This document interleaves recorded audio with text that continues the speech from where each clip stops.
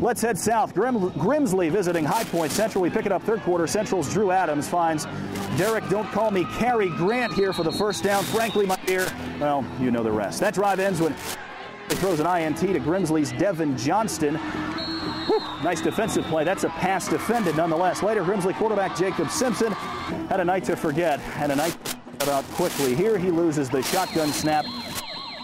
Good wherewithal to at least keep possession later from his own end zone. Nice scramble, better throw, and a pretty nice grab on the end of it. Only problem is he crossed the line of scrimmage.